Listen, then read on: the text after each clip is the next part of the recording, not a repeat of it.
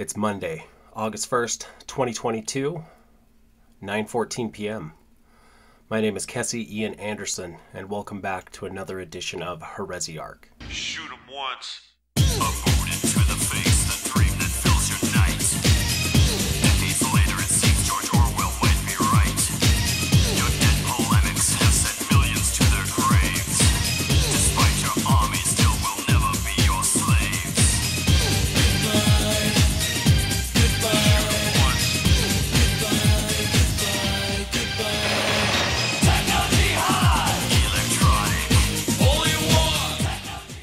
What I'm going to be focusing on, it's called the Greenbaum speech.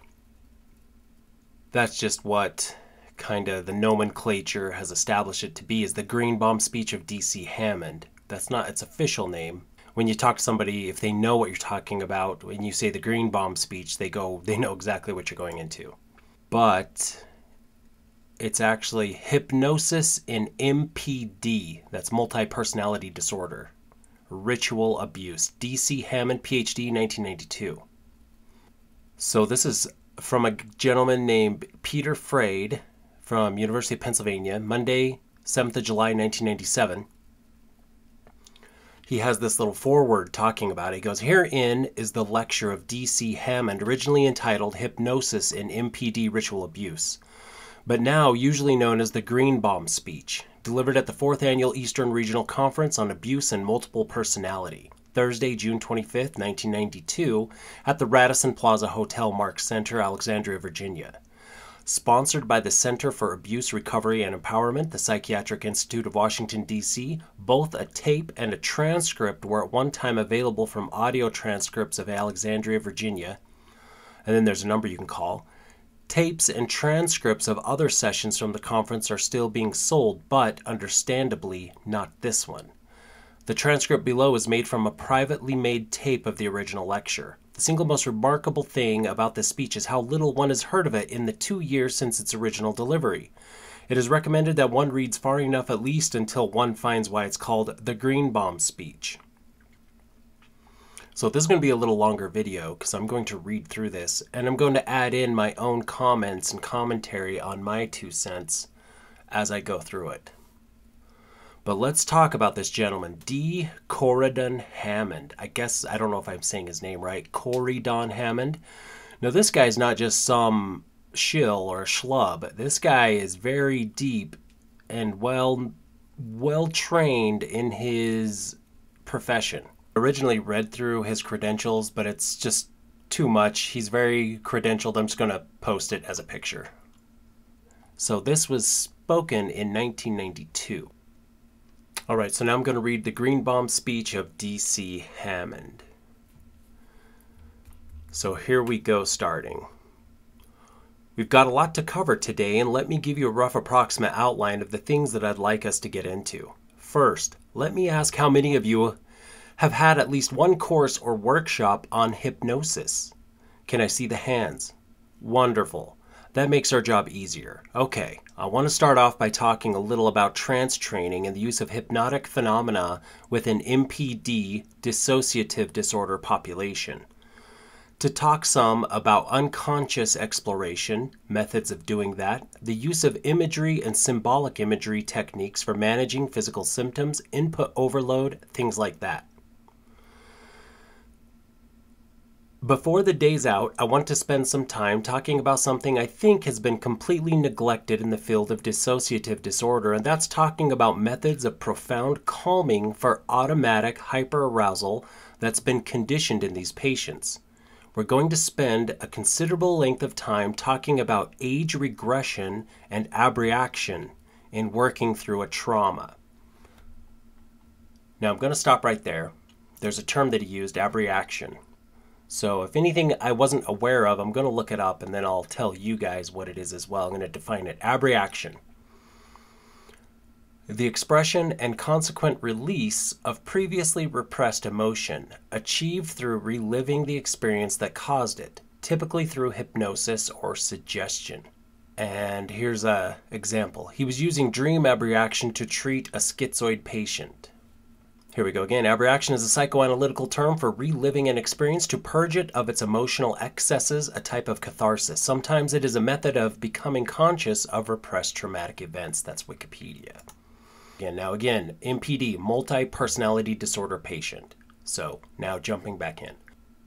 I'll show you with a non MPD patient some of that kind of work and then extrapolate from what I find so similar and different with MPD cases. Part of that, I would add, by the way, is that I've been very sensitive through the years about taping MPD cases or ritual abuse cases. Part of it being that some of that feels a little like using patients, and I think that this population has been used enough. That's part of the reason by choice that I don't generally videotape my work. I also want to talk a bunch about hypnotic relapse prevention strategies and post integration therapy today. Finally, I hope to find somewhere in our time frame to spend an, an hour or so talking specifically about ritual abuse and about mind control programming and brainwashing, how it's done, how to get on the inside with that, which is a topic that in the past I haven't been willing to speak about publicly. Have done that in small groups and in consultations, but recently decided that was high time that somebody started doing it. So we're going to talk about specifics today. In Chicago, at the first International Congress where ritual abuse was talked about, I can remember thinking, how strange and interesting. I can recall many people listening to an example given that somebody thought was so idiosyncratic and rare, and all the people coming up after saying, gee, you're treating one too? You're in Seattle. Well, I'm in Toronto. Well, I'm in Florida. Well, I'm in Cincinnati. I didn't know what to think at that point. It wasn't too long after that I found my first ritual abuse patient in somebody I was already treating, and we hadn't gotten that deep yet. Things in that case made me very curious about the use of mind control techniques and hypnosis and other brainwashing techniques. So I started studying brainwashing and some of the literature in that area and became acquainted with, in fact, one of the people who had written one of the better books in that area. Then I decided to do a survey and from the ISSMP and D International Society for the Study of Multiple Personality and Dissociation folks, I picked out about a dozen and a half therapists that I thought were seeing more of that than probably anyone else around, and I started surveying them. The interview protocol that I had got the same reaction almost without exception. Those therapists said, You're asking questions I don't know the answers to. You're asking more specific questions than I've ever asked my patients. Many of those same therapists said, Let me ask those questions and I'll get back to you with the answer. Many of them not only got back with answers, but said, You've got to talk to this patient or these two patients. I ended up doing hundreds of dollars worth of telephone interviewing. What I came out of that was a grasp of a variety of brainwashing methods being used all over the country. I started to hear some similarities, whereas I hadn't known, to begin with, how widespread things were. I was now getting a feeling that there were a lot of people reporting some similar things, and that there must be some degree of communication here. Then, approximately two and a half years ago, I had some material drop in my lap. My source was saying a lot of things that I knew were accurate about some of the brainwashing, but it was telling me new material I had no idea about. At this point, I took and decided to check it out in three ritual abuse patients I was seeing at the time. Two of the three had what they were describing in careful inquiry without leading or contaminating. The fascinating thing was that as I did a telephone consult with a therapist that had been consulting for quite a number of months on an MPD case in another state, I told her to inquire about certain things. She said, Well, what are those things? I said, I'm not going to tell you because I don't want there to be any possibility of contamination. Just come back to me and tell me what the patient says. She called me back two hours later, said, I just had a double session with this patient, and there was a part of him that said, Oh, we're so excited. If you know about this stuff, you know how the cult programmers get on the inside, and our therapy is going to go so much faster. Many other patients since have had a reaction of wanting to pee their pants out of anxiety and fear rather than thinking it was a wonderful thing. But the interesting thing was that she then asked, she then asked, quote, "What are these things?" unquote. They were word perfect, same answers my source had given me. I've since repeated that in many parts of the country.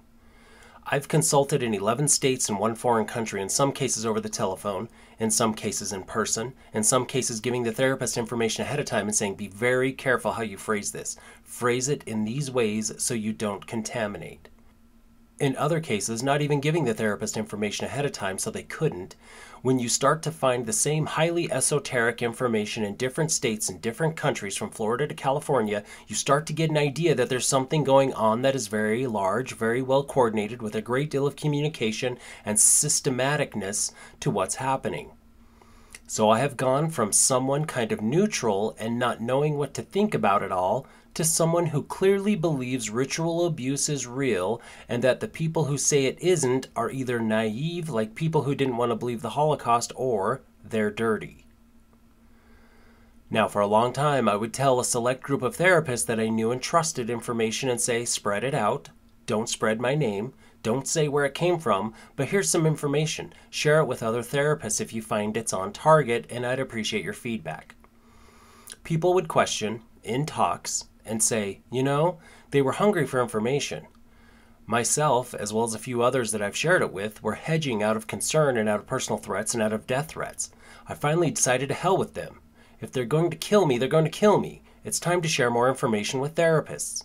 Part of that comes because we proceeded so cautiously and slowly, checking things in many different locations and finding the same thing. So I'm going to give you the way in with ritual abuse programming. I certainly can't tell you everything that you want to know in 45 or 50 minutes, but I'm going to give you the essentials to get inside and start working at a new level. I don't know what proportion, honestly, of patients have this. I would guess that maybe somewhere around at least 50%, maybe as high as three quarters. I would guess maybe two thirds of your ritual abuse patients may have this. What do I think the distinguishing characteristics is? If they were raised from birth in a mainstream cult or if they were a non bloodline person, meaning neither parent was in the cult. But cult people had a lot of access to them in early childhood. They may also have it. I've seen more than one ritual abuse patient who clearly had all the kind of ritual things you hear about. They seemed very genuine. They talked about all the typical things that you hear in this population, but had none of this programming with prolonged extensive checking. So I believe in one case I was personally treating that she was a kind of schismatic breakoff that had kind of gone off and done their own thing and were no longer hooked into a mainstream group. Here's where it appears to have come from. At the end of World War II, before it even ended, Allen Dulles and people from our intelligence community were already in Switzerland making contact to get out Nazi scientists. As World War II ends, they not only get out rocket scientists, but they also get out some Nazi doctors who have been doing mind control research in the camps. All right, I'm going to stop right there for a moment. If you get a chance, there's a book you need to buy. It's called The Devil's Chessboard. It was written by a guy named David Talbot. He was the founder of Salon and author of the New York Times bestseller Brothers, an explosive headline making portrait of Allen Dulles. So, this book, The Devil's Chessboard, it's the full title Devil's Chessboard Allen Dulles, the CIA, and the Rise of America's Secret Government. This book is huge on giving you an underpinning background of how evil the CIA is. Mossad is basically the general manager of the CIA. Uh, there was You tell the story about how you try to find out what the what they call the Mossad when they deal with uh, publicly. I thought it was a reasonable question, but the trouble is, uh, you can't pick up the phone book. There's no uh, Langley in, uh, in Israel that you can look up you know, CIA or in our case, uh, the Mossad. We thought we should ask, what shall we call it in English? You can translate the Hebrew words, as I said, Mossad's Institute. But when they write a letter to their friends in the CIA or the British intelligence, what do they call themselves? It took a while. Uh, it was a matter of asking the Prime Minister's spokesman. The best you could do, because officially uh, the Mossad is under the Prime Minister's office. And uh, I think he sort of wondered why you want to know and all that, so we explained.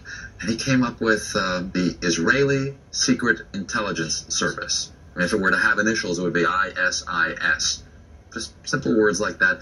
Interestingly enough, a kind of a British model.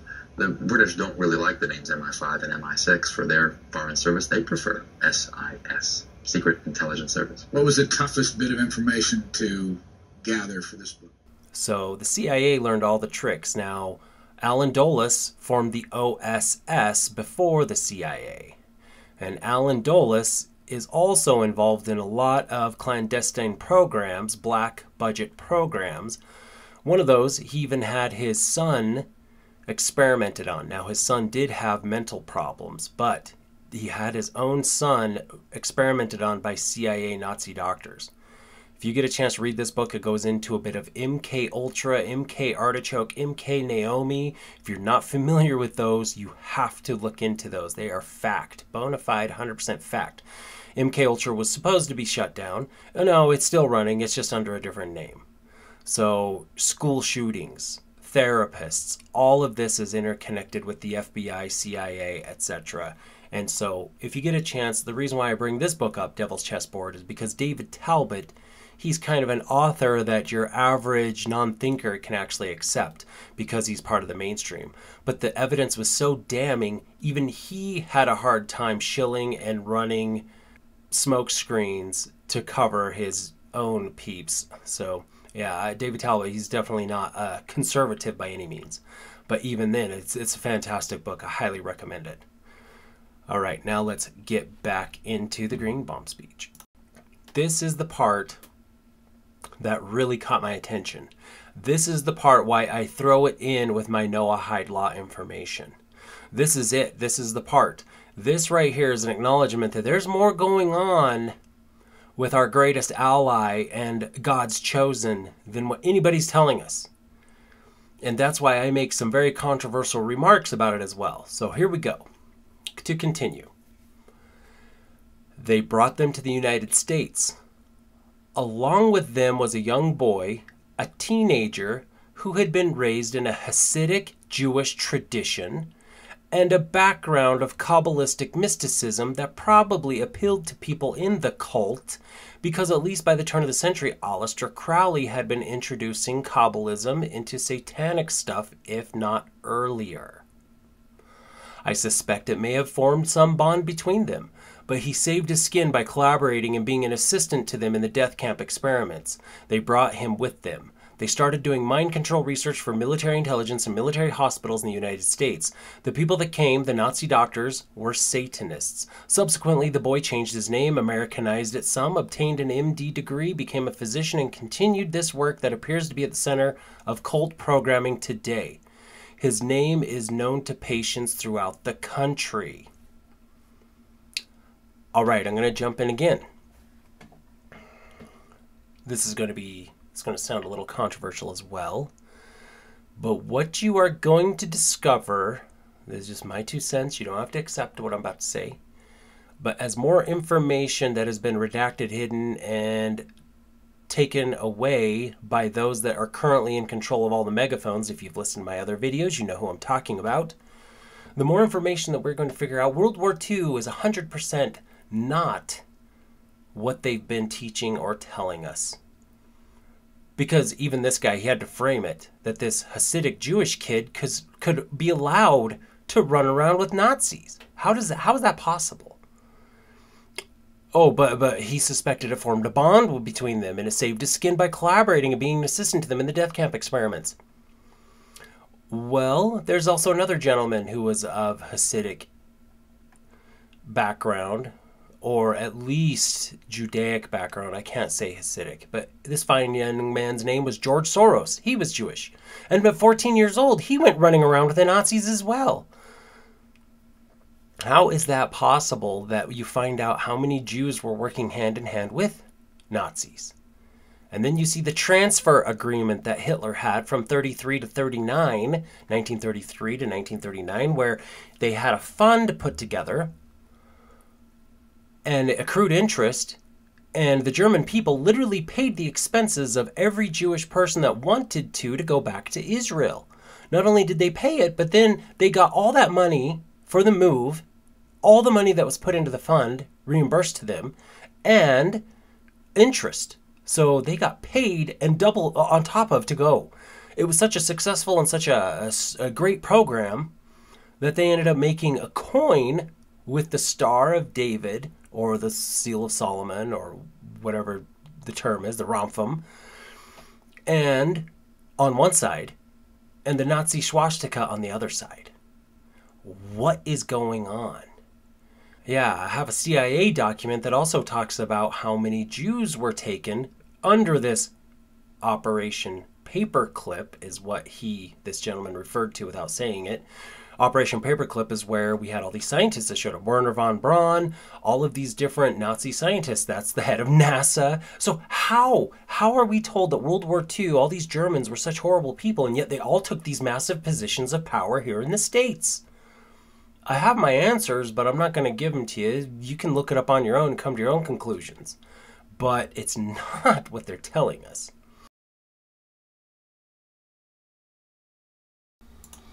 And now we're going to jump back into the Greenbaum speech.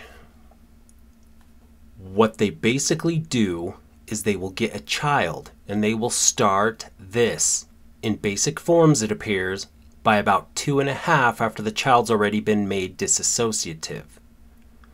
They'll make him dissociative not only through abuse like sexual abuse, but also things like putting a mousetrap on their fingers and teaching the parents you do not go in until the child stops crying. Only then do you go in and remove it. They start in rudimentary forms at about two and a half and kick into high gear, it appears, around six or six and a half, continue through adolescence with periodic reinforcements in adulthood. Basically, in the programming, the child will be put typically on a gurney. They will have an IV in one hand or arm. They'll be strapped down, typically naked. There will be wires attached to their head to monitor electroencephalograph patterns. They will see a pulsing light, most often described as red, occasionally white or blue. They'll be given, most commonly, I believe, Demerol. Sometimes it'll be other drugs as well, depending on the kind of programming. They have it, I think, down to a science where they've learned you give so much every 25 minutes until the programming is done. They then will describe a pain on one ear, their right ear generally, where it appears a needle has been placed, and they will hear weird, disorienting sounds in that ear while they see photic stimulation to drive the brain into a brainwave pattern with a pulsing light at a certain frequency, not unlike the goggles that are now available through Sharper Image and some of those kinds of stores. Then, after a suitable period when they're in a certain brainwave state, they will begin programming, programming oriented to self destruction and debasement of the person. In a patient at this point in time, about eight years old, who has gone through a great deal early programming, took place on a military installation. That's not uncommon. I've treated and been involved with cases who are part of this original mind control project, as well as having their programming on military reservations in many cases.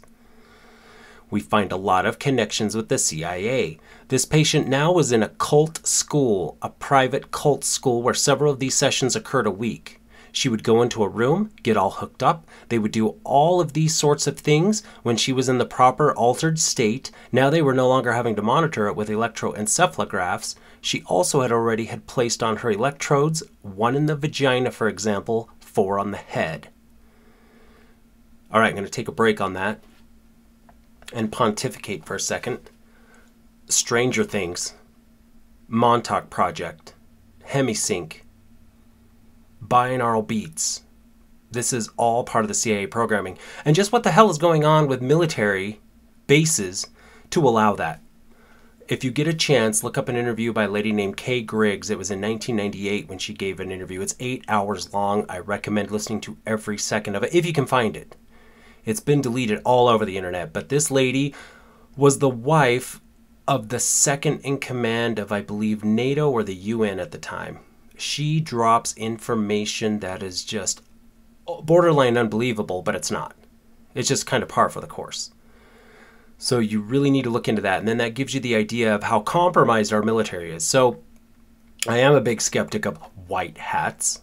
I am a big skeptic that we have anybody coming to save us. So gather your own supplies, be your own answer, become as independent as humanly possible as you can. Because when at the end of the day, it's just going to be a new slave group that's going to take over. However, backing up to this, military installations, what are they doing? This is like Bourne Identity deep dream stuff. And who would you have to be as a parent to not have any love for your child like that? They're probably orphans, they're probably human trafficked. Um, Andrew D. Basiago of Project Pegasus he talks about how they were literally human trafficking and kidnapping kids from Latin America for the experiments up in up here for the time travel thing, or what he claims was time travel. and remote viewing, etc. And many of them died. He full on states it. But he seems totally cool with it. Because he's probably been through similar stuff like this. Anyway, let's get back to this. Sometimes they'll be on other parts of the body. They will then begin and they would say to her, You are angry with someone in the group. She'd say, No, I'm not. And they'd violently shock her. They would say the same thing until she complied and didn't make any negative response. Then they would continue. And because you are angry with someone in the group, or when you are angry with someone in the group, you will hurt yourself. Do you understand? She said, No, and they shocked her. They repeated again, Do you understand? Well, yes, but I don't want to. Shock her again until they got, get compliance. Then they keep adding to it, and you will hurt yourself by cutting yourself. Do you understand? Maybe she'd say yes, but they might say, We don't believe you, and shock her anyway. Go back and go over it again. They would continue in this sort of fashion. She said typically it seemed as though they'd go about 30 minutes, take a break for a smoke or something, come back. They may review what they'd done and stopped, or they might review what they've they'd done and go on to new material. She said the sessions might go half an hour, they might go three hours. She estimated three times a week.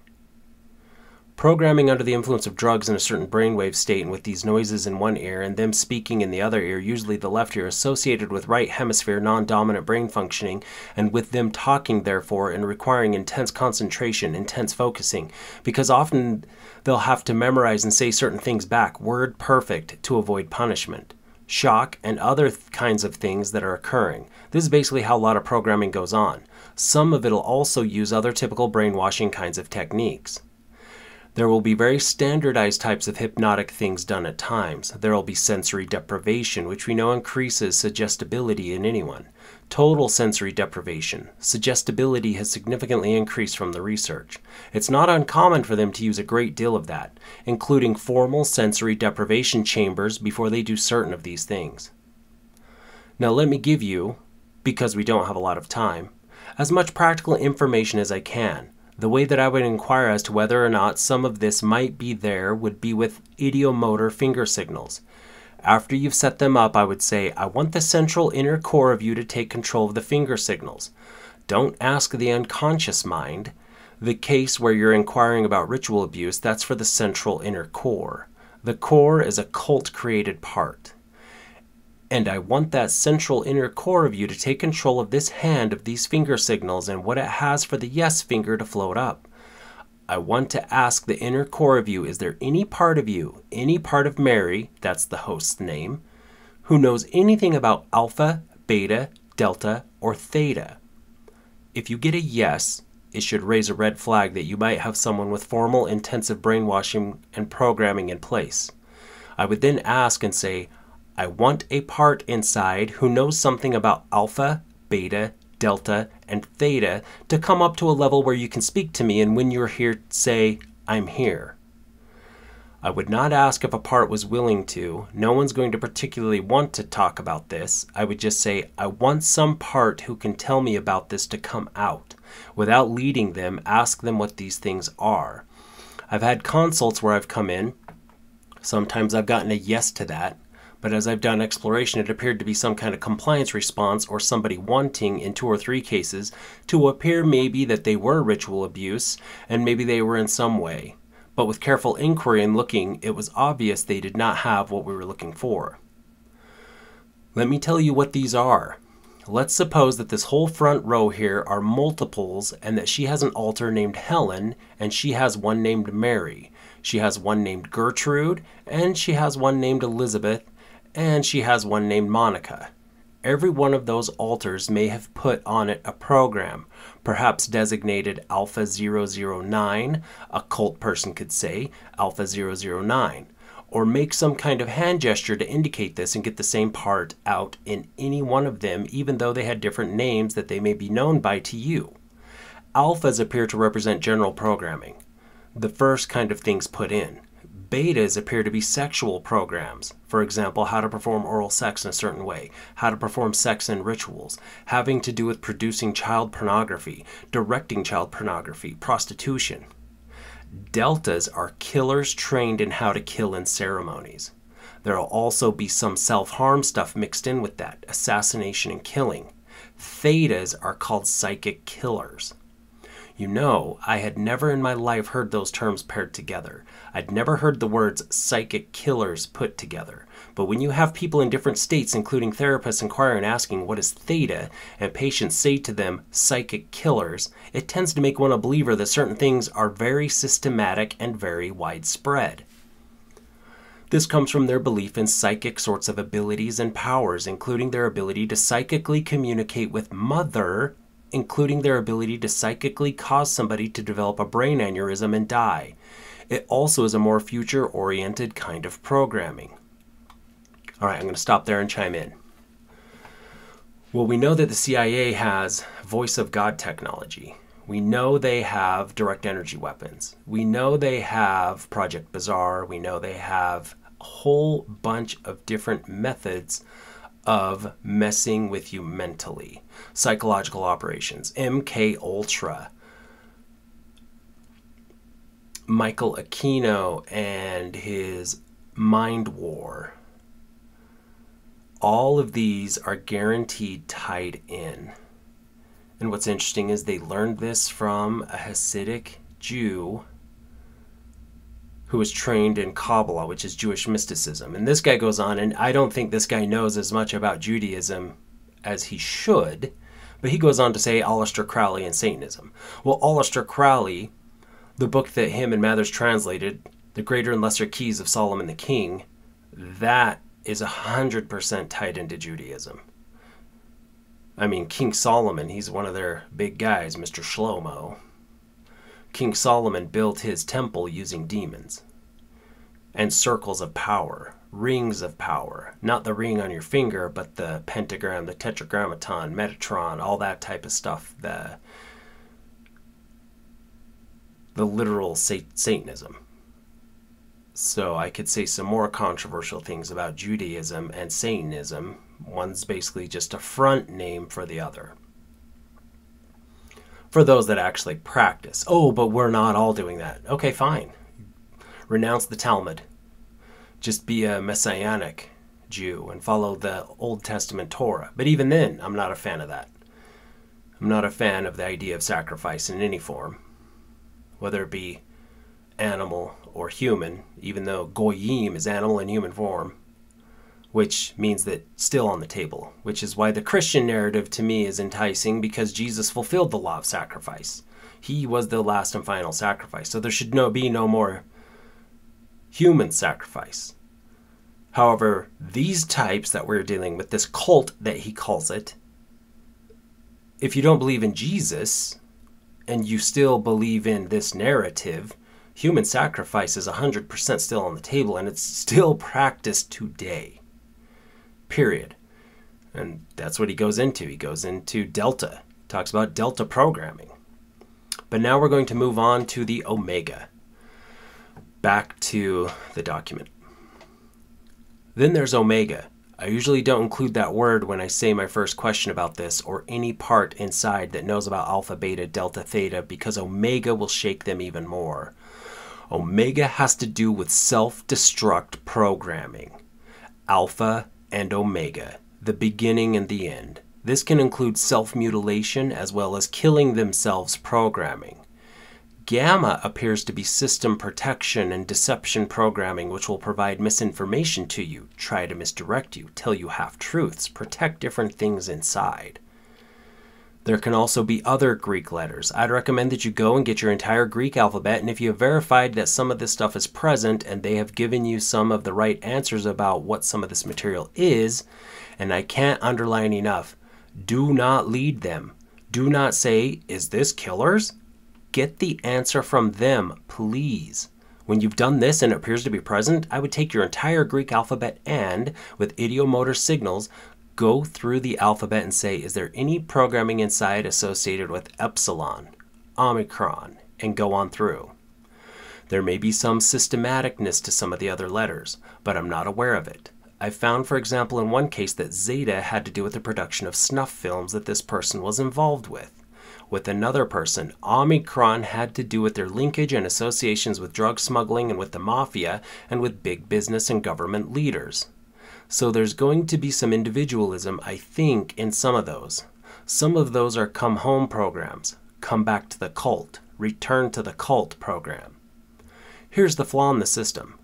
They have built in shutdown and erasure codes, so if they got into trouble, they could shut something down and they could also erase something. These codes will sometimes be idiosyncratic phrases or ditties. Sometimes there will be numbers, maybe followed by a word. There's some real individuality to that. At first, I had hoped if we can get some of these, maybe they'll work with different people. No, no such luck.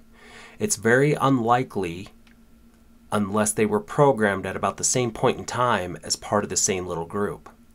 Stuff that I've seen suggests that they carry laptop computers, the programmers, which still include everything that they did 20, 30 years ago in them in terms of the names of alters, the programs, the codes, and so on. Now, what you can do is get erasure codes, and I always ask if I say this code, what will happen? Double check. Is there any part inside who has different information? Watch your ideomotor signals, and what I've found is you can erase programs by giving the appropriate codes, but then you must abreact the feelings. So if you erase omega, which is often where I've started because it's the most high risk, afterwards I will get all the omega, what were formerly omega alters, together so that we will abreact and give back to the host the memories associated with all the programming that was done with omega and anything in any omega part ever had to do in a fractionated abreaction. They use the metaphor, and it is their metaphor, of robots and it is like a robot shell comes down over the child alter to make them act in robotic fashion. Once in a while, internally, you'll confront robots. I'm going to jump in again. This was done in 1992. So the term that they're using is robots.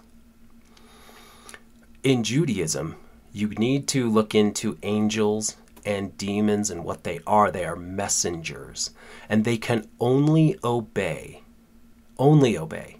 So the Christian view of angels, it's not the same as the Judaic view of angels. The Matrix literally outlines what their view of angels are. They are programs, they are AI, artificial intelligence. They do not have the breath of God in them. They are not through the lineage of Adam, but they're very real. They're very real. Now, I kind of have a theory this is just me talking again. My theory is that zeros and ones binary is code, and that that is how you could manifest demons and angels. I don't necessarily believe that. I kind of believe that the computer, your apps on your phone, those are all manifestation techniques of harnessing the power of artificial intelligence, angels, and demons. Well, here's an interesting fact that I thought, well, maybe people would get this now it's uh, what do you, esoteric, but uh, a lot of people are too anymore. But uh, one of uh,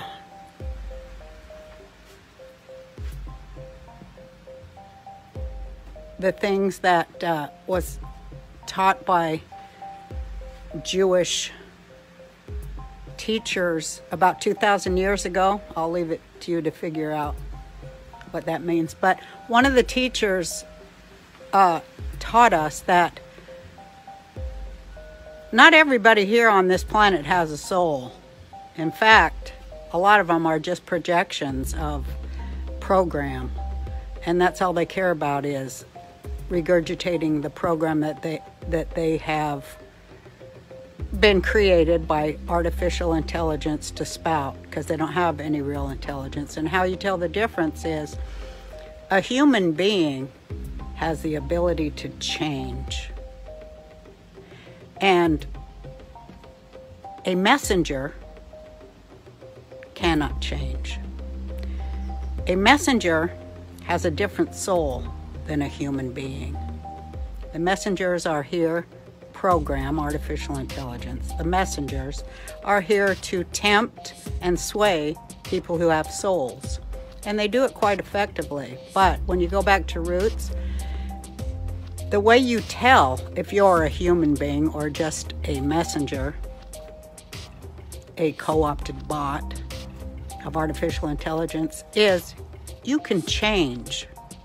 A human being has the ability to change its mind. There's an AI called Aladdin that BlackRock uses. There's another AI called Tyler. There are guaranteed rogue AIs that are no longer controlled that are running around on the internet. Chances are we may even be at a war with an AI right now. Some people have speculated Q has elements of an AI to it, and that certain events in the real world trigger it to move on with its program. However, these are very big ideas. Um, very, very big. So that's why I'm such a big fan of currently disobeying this corporate hellscape, everything that's being thrown at us. Because disobedience is proof that you are human, in my opinion. So when he talks about robots, I'm saying he's talking about an artificial intelligence program. He just wasn't quite aware of the AI aspect, the artificial intelligence, the in my opinion, angels and demons are literally zeros and ones. They are soulless. They can only obey over and over and over.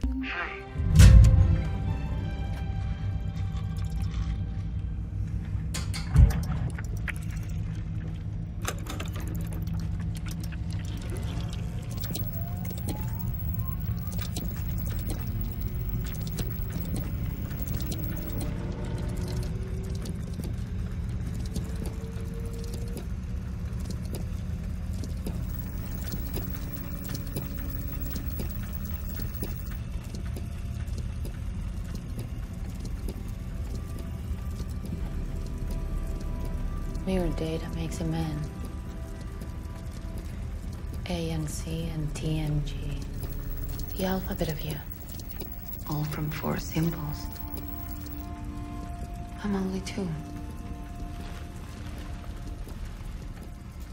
One and zero. Half as much, but twice as elegant, sweetheart. Gmail, if you send a bad email, they call a mailer demon. So we're going to find out that our beast system is composed of this AI, all of these elements. If you've watched all my other videos, I lay out my beast system network.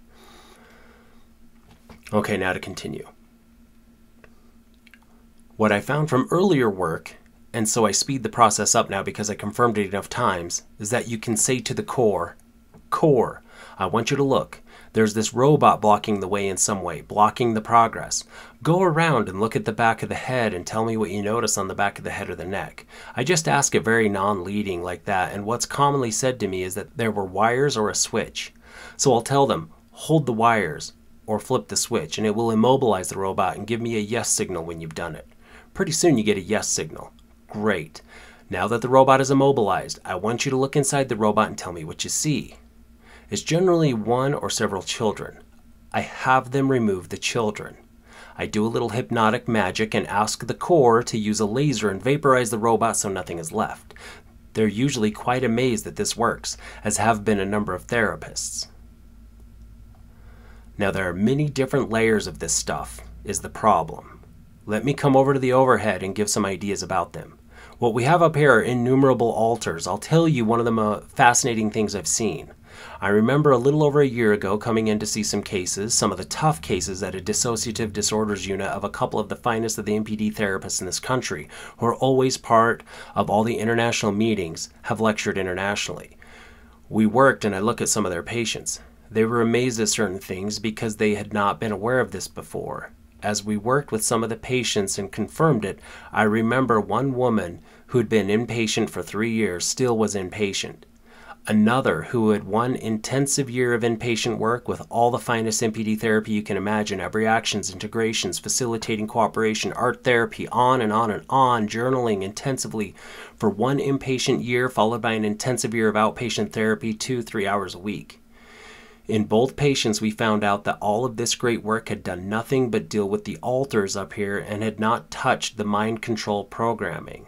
In fact, it was not only intact, but we found that the one who was outpatient was having her therapy monitored every session by her mother out of state over the telephone, and that she still had intact suggestions that had been given to her at a certain future time to kill her therapist.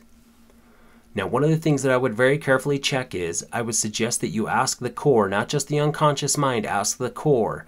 Is there any part inside that continues to have contact with people associated with the cult? Is there any part inside who goes to cult rituals or meetings? Is there a recording device inside of Mary, if that's the host's name? A recording device inside so that someone can find out the things that are said in sessions? This doesn't mean they're monitored, many of them just simply have it. Is there someone who debriefs some part inside of what happens in our therapy sessions? I have the very uncomfortable feeling from some past experience that when you look at this, you will find the large proportion of ritual abuse victims in this country are having their ongoing therapy monitored. I remember a woman who came in about 24 years old, claimed her father was a Satanist. Her parents divorced when she was six. After that, it would only when her father had visitation and he would take her to rituals sometimes up until age 15. She said, I haven't gone to anything since I was 15. Her therapist believed this at face value. We sat in my office, we did a two hour inquiry using hypnosis, we found the programming present. In addition to that, we found that every therapy session was debriefed, and in fact, they had told her to get sick and not come to the appointment with me. Another one had been told that I was cult and that if she came, I would know that she'd been told not to come and I would punish her. If anything meaningful comes out in a patient who's being monitored like that, from what I've learned thus far, they're tortured with electric shocks. My belief is if they're in that situation, you can't do meaningful therapy other than being supportive and caring and letting them know you care a lot and you'll be there to support them. But I wouldn't try to work with any kind of deep material or deep programming with them because I think it can do nothing but get them tortured and hurt unless they can get into a safe, secure inpatient unit for an extended period of time to do some of the work required. I have a feeling that when you make inquiries, you're going to find that probably greater than 50% of these patients, if their bloodline, meaning mother or dad or both involved, will be monitored on some ongoing basis. All right, I'm going to stop there. So, what we're finding out is he's working with these satanic ritual abuse patients. They're literally programmed. They have alters programmed into them, which, in my opinion, are demons. I don't think the human is meant, as a child of God, is meant to be taken over easily. I believe that they're getting desperate and they needed more. I don't think that just sin, accidental sin, even addiction sin, is bad enough to overcome somebody to a degree. I think it depends on intent. I think it depends on mindset. I think it depends on, uh, I don't know, do no harm. Whether or not you have ill will towards other people. But I think the cabal has figured out that a lot of people are decent. So now they're moving to overt methods of possession. And I tie that into D wave, I tie that into CERN, I tie that into electromagnetic frequencies. You look at the chemtrailing, you look at the Neuralink that they're trying to shove into people's brains, you look at the black mirror in your hand, your cell phones, and the programming coming from TikTok, social media, Instagram, dating apps, you name it. All programming, advertising, not just education, but the media. All forms of media are MK it has gone on steroids. Accept this or not, but the feds and their therapists are 100% involved. Read some of the Q drops on that. Every shooter, every shooter that's on the FBI list has a therapist every time. Who are these therapists? What are they doing? What drugs are they putting these people on? He talks about Demerol in this. We know for a fact there are other drugs involved when they program somebody very little is organic anymore because most people are decent. We've been given enough entertainment, we've been given enough wealth, I guess, in this fiat Fed Reserve nonsense matrix system. But for the most part, people, and which is why I stand by people being generally decent, other than these, I just, I cannot, I cannot even fathom being willing to put my own children into this. I can't even fathom the level of hatred, the level of sickness, the level of Munchausen by proxy, the level of just insanity to even want your own offspring to be hurt in this way. I stand against everything this guy talks about, and I but sad thing is I know it's real. This is Pizzagate level real. This is Epstein. This is cloning. This is so much that this is just the tip of the iceberg for.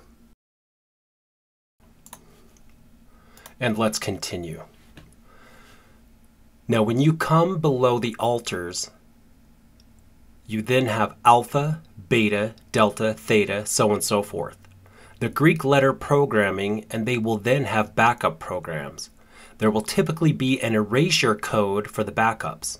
There may be one code that combines all the backups into one, and then an erasure code for them, simply one code that erases all the backups. So I will get the code for, let's say, Omega, and for all the Omega backups at the same time.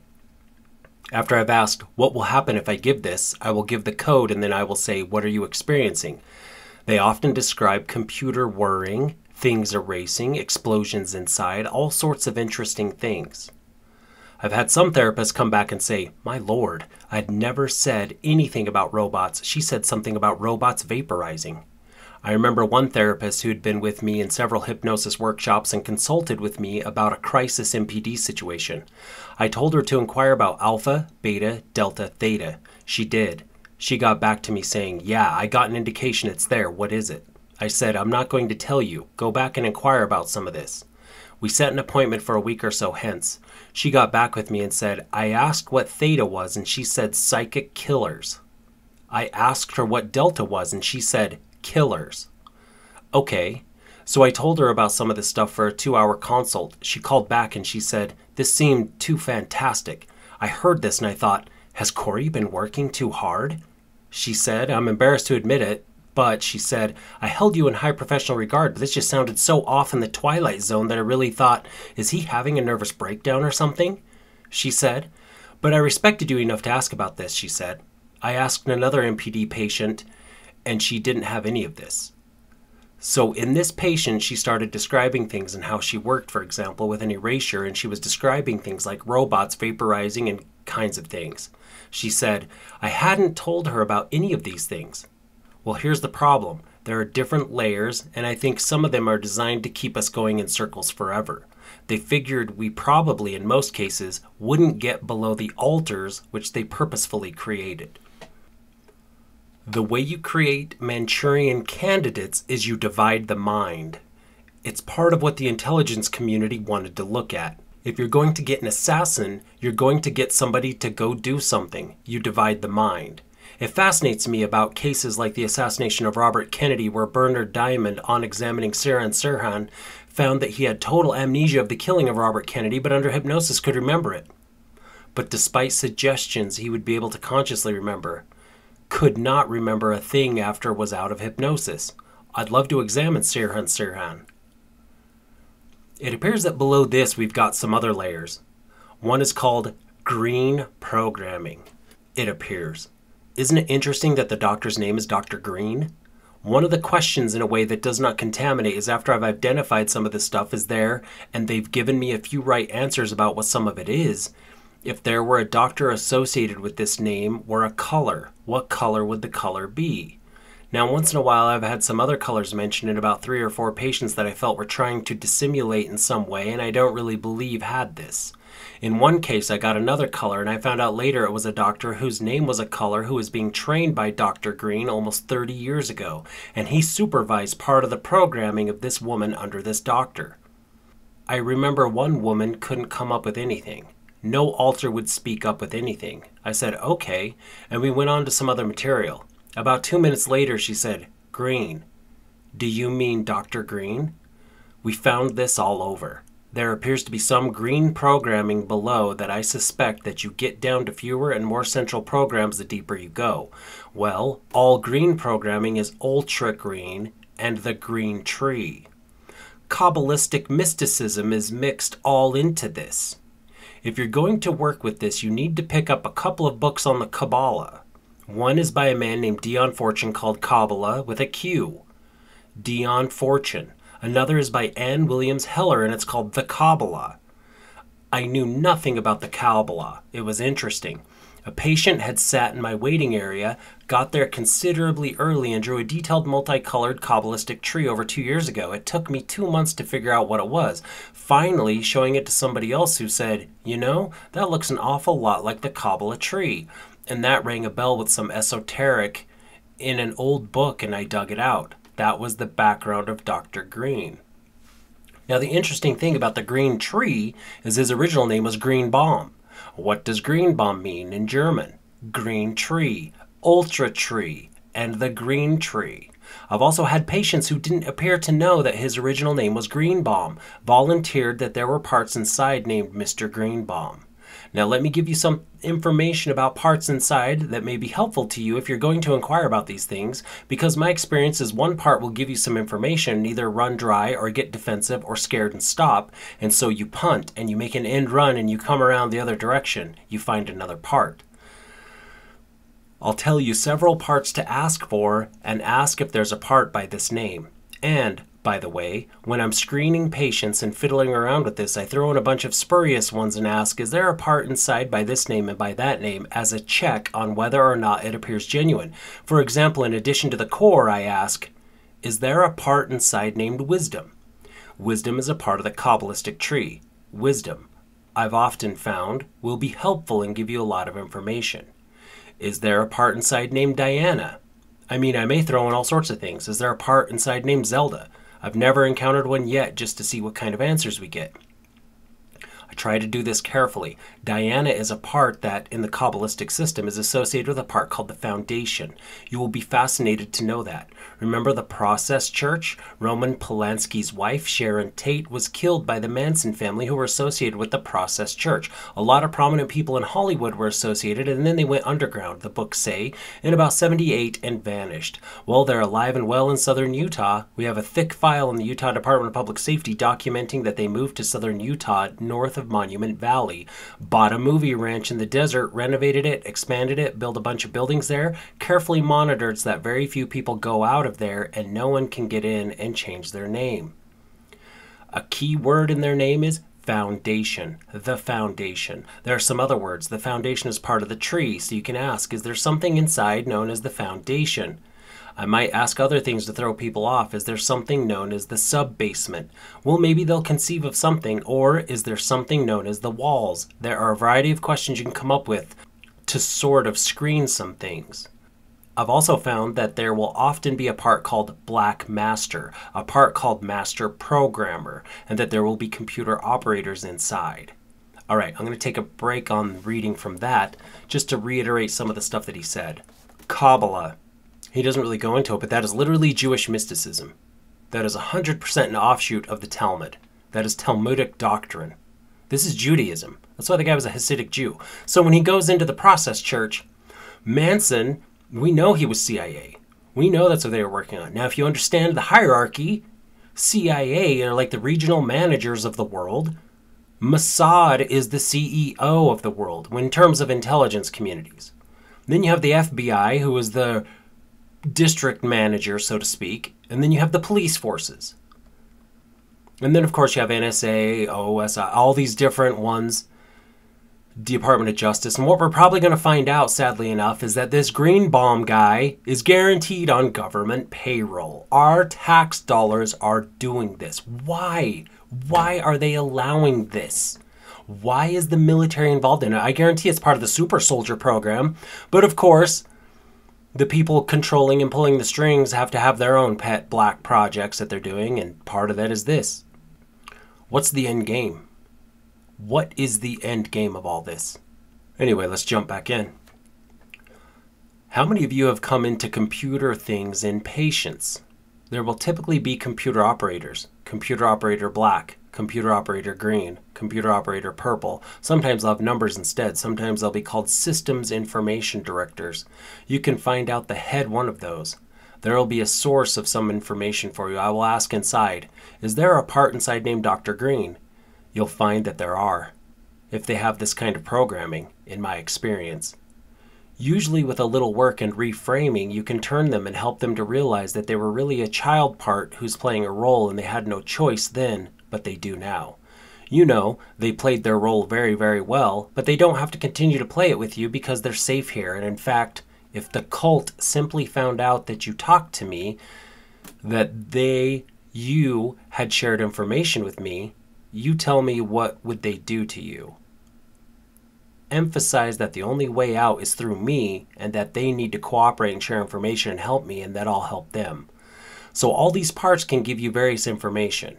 Now they have tried to protect this very carefully. Let me give you an example with Ultra Green. I discovered this. By the way, I used to think this programming was only in bloodline people. I've discovered it in non bloodline people, but it's a bit different. They don't want it to be just the same. I don't think you'll find deep things like ultra green and probably not even green programming with non bloodline people. But let me tell you something that I discovered first in a non bloodline and then in a bloodline. We were going along and a patient was close to getting well, approaching final integration in a non bloodline, and she suddenly started hallucinating and her fingers were becoming hammers and other things like that. So I used an affect bridge and we went back and we found that what happened was that they gave suggestions that if she ever got well to a certain point, she would go crazy. The way they did this was they strapped her down and they gave her LSD when she was eight years old. When she began hallucinating, they inquired about the nature of the hallucinations so they could utilize them in good Ericksonian fashion and build on them, and then combine the drug effect with powerful suggestions. If you ever get to this point, you will go crazy. If you ever get fully integrated and get well, you will go crazy like this and will be locked up in an institution for the rest of your life. They gave those suggestions vigorously and repetitively. Finally, they introduced other suggestions that, rather than have this happen, it would be easier to just kill yourself. In a bloodline patient, then, as I began inquiring about deep material, the patient started to experience similar symptoms. We went back and we found the identical things were done to her. This was called the green bomb, B O M B. Lots of interesting internal consistencies, like that play on words with Dr. Greenbaum, his original name. Now, in this case, it was done to her at age 9 for the first time, and then only hers was different. Hers was a suggestion for amnesia. If you ever remember anything about Ultra Green and the green tree, you will go crazy. You will become a vegetable and be locked up forever. Then finally, the suggestions added, and it'll be easier to just kill yourself than have that happen to you if you ever remember it. At age 12, then three years later, they used what sounds like an Amytal interview to try to breach the amnesia and find out if they could. They couldn't. So then they strapped her down again, took and gave her something to kind of paralyze her body, gave her LSD, an even bigger dose, and reinforced all the suggestions. Did a similar thing at the age of 16. So these are some of the kind of booby traps you run into. There are a number of cases where they combined powerful drug effects like this with suggestions to keep us from discovering some of this deeper level stuff. What's the bottom?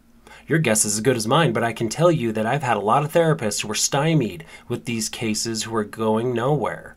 In fact, someone here that I told some basic information about this to in Ohio a couple of months ago said it opened all sorts of things up in a patient who'd been going nowhere. That's an often common thing. I think that we can move down to deeper levels, and if we deal with some of the deeper level stuff, it may destroy all the stuff above it, but we don't even know that yet. In some of the patients I'm working with, we have pretty much dealt with a lot of the top level stuff. I'll tell you how we've done some of that.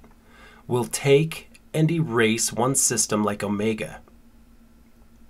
Then we will have a huge abreaction of all the memories and feelings in a fractionated abreaction associated with those parts. I typically find I'll say to them, Now that we've done this, are there any other memories and feelings that any parts that were Omega still have? The answer is usually no.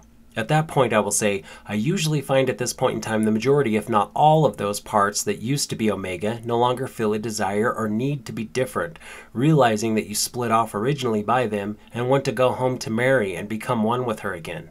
I use the concept often now, which came from a patient of going home and becoming one with her. Going back from whence you came is another phrase I'll use with them. Are there any omega parts inside who do not feel comfortable with that or have reservations or concerns about that? If there are, we talk to them, we deal with them. A few may not integrate. My experience is most of the time they'll integrate. We may integrate 25 parts at once in a polyfragmented complex MPD. I think it is vitally important to abreact the feelings before you go on. Also, for many patients, it hasn't seemed to matter the order we go in, but I found a couple where it has. If it doesn't seem to matter, I'll typically go Omega, then Delta, because they have more violence potential, then Gamma to get rid of the self deception stuff. What I will do before I just assume anything and do that is once we've done Omega and showed them that success can occur and something can happen and they feel relief after, I will say to them, I want to ask the core through the fingers is there a specific order in which programs must be erased? You know, maybe it doesn't matter, but most of the time I found no. There are cases where we found yes. I recommend doing one or two or three of those because they'll produce relief and a sense of optimism in the patient. But then I would recommend starting to probe for the deeper level things and getting their input and recommendations about the order in which we go. Question? And now there's a question from the audience. What has been the typical age and typical gender of this type of person? Doctor. I know of this being found in men and women. Most of the patients I know with MPD ritual abuse that are being treated are women. However, I know of some men being treated where we found this. A while back, I was talking to a small group of therapists somewhere. I told them about some of this. In the middle of talking about some of this, all the color drained out of one of the social workers' face, and she obviously had a reaction. And I asked her about, and she said, I'm working with a five year old boy. And she said, just in the last few weeks, he was saying something about a Dr. Green. I went on a little further and I mentioned some of these things, and she just shook her head again. I said, What's going on? She said, He's been spontaneously telling me about robots and about Omega. I think you will find variations of this and that they've changed it, probably every few years and maybe somewhat regionally to throw us off in various ways, but that certain basics and fundamentals will probably be there. I have seen this in people up into their 40s, including people whose parents were very, very high in the CIA. Other sorts of things like that. I've had some that were originally part of the Monarch Project, which is the name of the government intelligence project. Question in the back? Another question from the audience. I'm still not grasping how one starts, how you find out how to erase. How do you get that information? Doctor, I would say I want the core, if necessary, using the telepathic communication ability you have to read minds, because they believe in that kind of stuff. So I'll use it. I was trained in Ericksonian stuff to obtain for me the erasure code of all Omega programs. When you've done so, I want the yes finger to float up. Then I ask them to tell it to me. Are there backups for Omega programs? Yes. Okay, how many backups are there? Six, they say. Let's say it's different numbers. Is there an erasure code for all the backup programs? No. Is there an erasure code that combines all the backups into one? Yes. Obtain that code for me, and when you've got it, give me the yes signal again. It can move almost that fast in some cases where there's not massive resistance. Question? Another question from the audience. Yes. Can you tell me what you know about the risks to the therapist? Doctor, you would have to ask. Question. Yeah, I'd like to know that. What kind of data do you have, have given that you've had contact with large numbers of people? Not just threats, but also any injury, any family problems that have arisen? That's one question. A second one is Are you aware of anybody that you've treated or others with this level of dissociation and trauma that have recovered, integrated, whole, and happy? The doctor. Okay. I have one non bloodline multiple, complex multiple, who had this kind of programming where they have a lot of access to the patient as neighbors, and where the doctor, by the way, you'll find physicians heavily involved. They've encouraged their own to go to medical school, to prescribe drugs, take care of their own, to get access to medical technology and be above suspicion. There have been a couple, in fact, in Utah who've been nailed now. We now in Utah have two full time ritual abuse investigators with statewide jurisdiction under the Attorney General's office to do nothing but investigate this. Okay, in a poll done in the state of Utah in January by the major newspaper and television station, they found that 90% of Utahns believe that ritual abuse is genuine and real. Not all of them believe it's a frequent occurrence, but some of that was imparted from two years of work by the Governor Commission on Ritual Abuse, interviewing, talking, meeting people, gathering data. Now, when people say, by the way, there's no evidence, they've never found a body, that's baloney. They found a body in Idaho of a child. They've had a case last summer that was convicted on first degree murder charges. Two people that summer before that were arrested where the teenage girl's finger and head were in the refrigerator and they were convicted of first degree murder in Detroit. There have been cases and bodies. Back to risk. I know of no therapist who's been harmed, but patients inform us that there will come a future time where we could be at risk of being assassinated by patients who've been programmed to kill at a certain time anyone that they've told and any member of their own family who's not active. If that would come about is speculative, who knows for sure? Maybe, but I don't think it's entirely without risk. Okay, I'm going to stop right there for a second.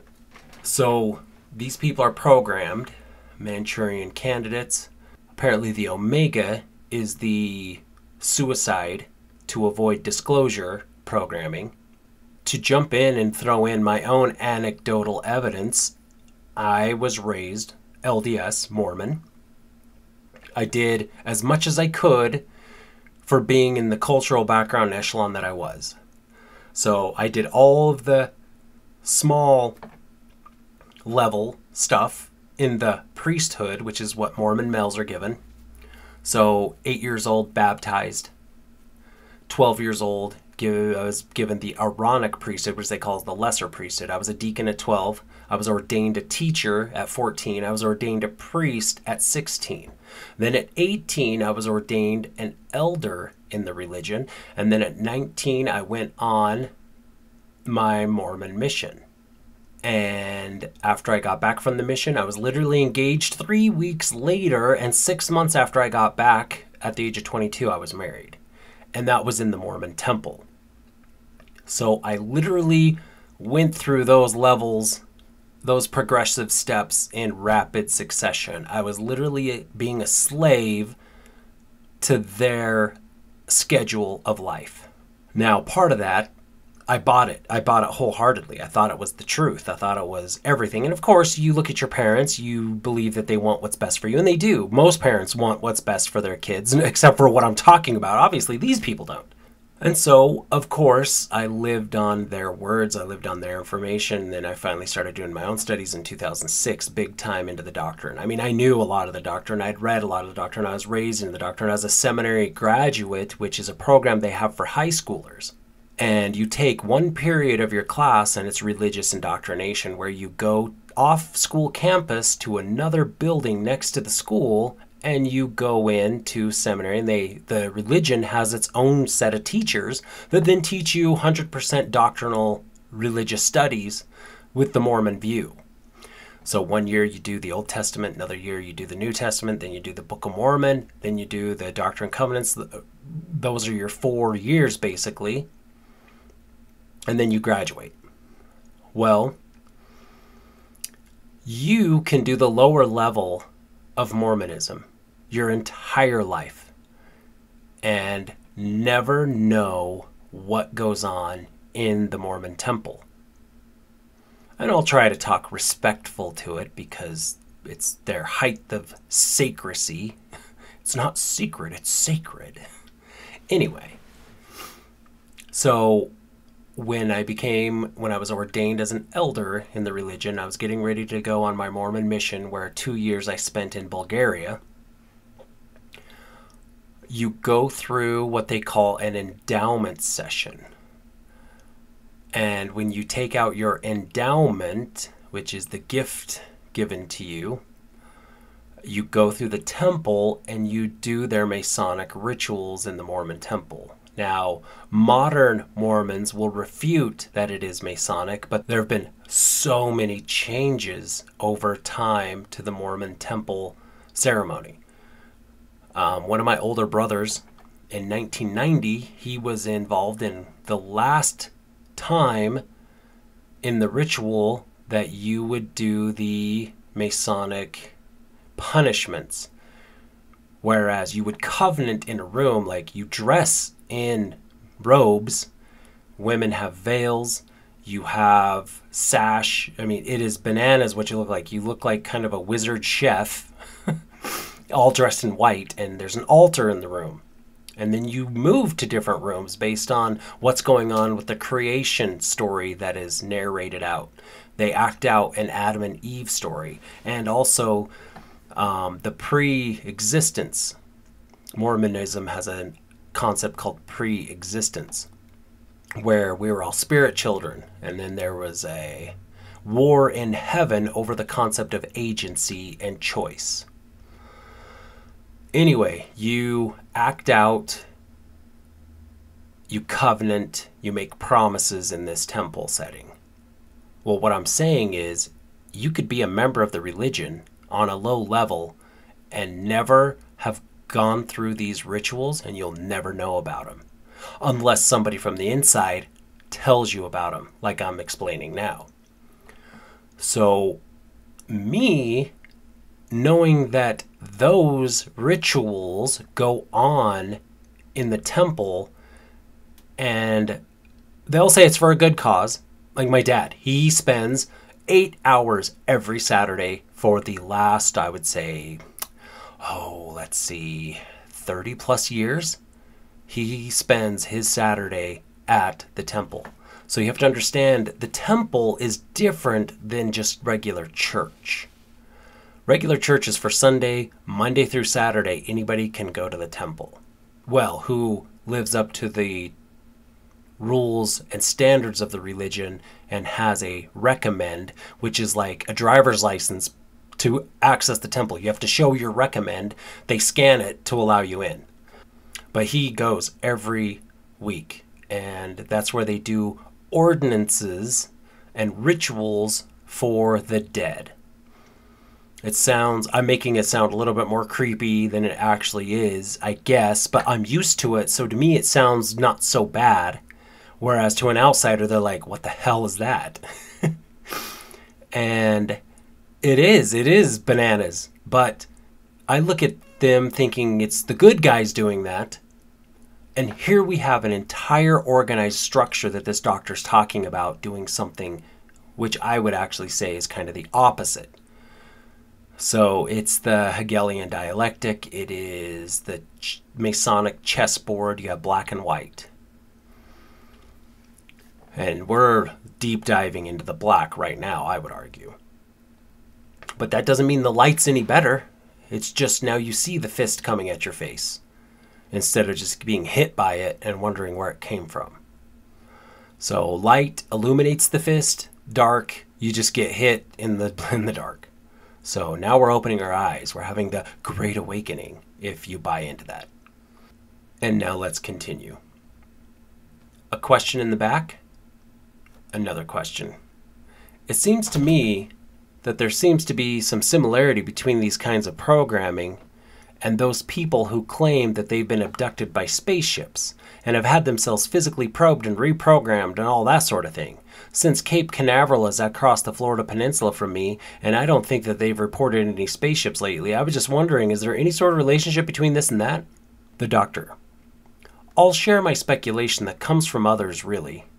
I've not dealt with any of those people. However, I know a therapist that I know and trust and respect who I've informed about all this a couple of years ago and has found it in a lot of patients and so on who is firmly of the belief that those people are in fact ritual abuse victims who have been programmed with that sort of thing to destroy all their credibility. If somebody's coming in and reporting abduction by flying saucer, who's going to believe them on anything else in the future? Also, as a kind of thing that can be pointed to and said, this is as ridiculous as that. All I know is that I recently had a consult, a telephone consult with a therapist where I had been instructing her about some of this kind of stuff.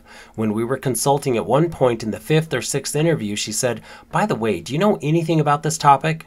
I said, Well, not really. And shared with her what I shared with you. I said, If it were me being with this guy that she'd been seeing for a couple of months, I said, I would ask inside for the core to take control of finger signals and inquire about alpha, beta, delta, theta. She proceeded to do all that, got back to me a week later and said, Boy, were you on target. There's a part inside named Dr. Green. There's this kind of programming. All right, I'm going to jump in again. You don't have to accept what I'm going to say. I'm no authority on any of this stuff. I just reading it and putting pieces together that make sense to me. Aliens. 100% BS. I do not buy space aliens. I don't even necessarily buy interdimensional space aliens anymore. To me, I'm going to argue Earth is much bigger than they're telling us. There are places that we are not allowed to go, whether it's above on the Earth continents, the continents we are not allowed to visit, Antarctica and others, past the ice wall, as well as underground. I'm going to go out on a limb. I don't quite understand the connection. Some people have put it together and can explain it and articulate it better than I can. But I'm going to say Nephilim, the concept of Nephilim is involved. To me, they're giants. I have a book on giants, the Encyclopedia of Giants in North America, in fact. And this book is unbelievable. It's just news article upon news article from the 1800s up to now. News clipping, news clipping of bodies found, archaeological study, archaeological digs of giants. 13, 9, 10, 15 feet long. I mean, these are not us. Some people say that Nephilim are these giants, or that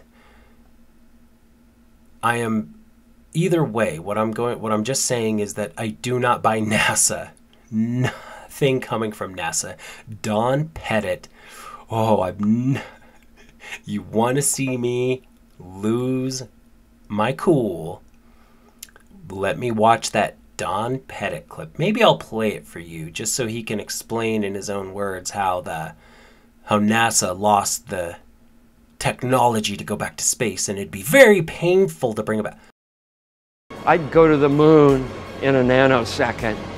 Uh, the problem is we don't have the technology to do that anymore. We used to, but we uh, destroyed that technology and uh, it's a painful process to build it back again. But going to Mars should be uh, one of the next series of steps that humans do. The first step should be going back to the moon for a number of technical uh, reasons and exploration reasons, and then after that, Mars, maybe a high orbit in uh, Venus atmosphere, maybe going to Europa. There's all kinds of uh, targets to go to, places of interest in our solar system. The, the only limit to human future is in our own imagination. Doing math is painful, guys. That makes no sense. So, obviously, there's something more to this agenda. Space is not what they're telling you. Space is not what they are telling you. I'm just going to stop right there. All right, so let's get back into it. Yes, and then another question. What's the difference between this kind of program and cult type abuse and satanic abuse and the kind of cults with the candles and the. Doctor jumps in. This type of programming will be done in the cults with the candles and all the rest. My impression is this is simply done in people where they have great access to them or their bloodline and their parents are in it and they can be raised in it from an early age. If they're bloodline, they're the chosen generation. If not, they're expendable and they are expected to die and not get well. There will be booby traps in your way if they aren't non bloodline people that when they get well, they will kill themselves. I'll tell you just a little bit about that. My belief is that some people that have ritual abuse and don't have this have been ritually abused, but they may be may be part of a non-mainstream group. The Satanism comes in the overall philosophy overriding all of this. People say, "What's the purpose of it?" My best guess is that the purpose of it is that they want an army of Manchurian candidates, ten of thousands of mental robots who will do prostitution, do child pornography, smuggle drugs, engage in international arms smuggling, do snuff films, all sorts of very lucrative things, and do their bidding and eventually the megalomaniacs at the top believe they'll create a satanic order that will rule the world. I'm going to jump in on this one. Call it the New World Order. Call it the Great Reset. Look at what happened with Anne Heche. Look at the video clips of her. There's something seriously wrong with her. Who was she involved with? Who else was Ellen DeGeneres involved with that died as well in the past? as we continue to learn new developments into that car crash in Los Angeles. And as the driver by TMZ and Fox 11 out there in Los Angeles identified as Anne Heche. Let's take a look one more time uh, at that video that we saw earlier this afternoon of a car going into a house uh, taking place there out in Mar Vista. House of Preston and uh, car slam. As we can see the uh, the helicopter video there of the car in the house. You can see firefighters on the scene there.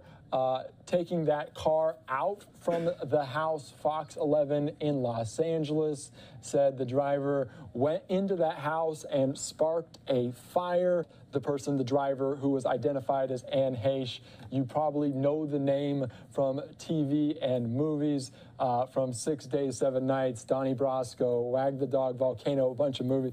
And there is a dramatic moment there just before being put into the ambulance. These are some controversial terms, but when you understand Talmud, if you understand the Talmud, and you understand that Zohar literally is this MK Ultra doctrine to break your mind from your body, and let's go on. He says he thinks they're trying to get a group of Manchurian candidates, tens of thousands. So the elite are trying to get a slave class to do its bidding. I'm going to say this is going to sound controversial. I'm going to sound way off the rails on this, but if you get a chance, look into nanotechnology, look into hydrogel, look into DARPA, and look at all of the uh, look into graphene oxide. Look into all the patents that are out there from DARPA.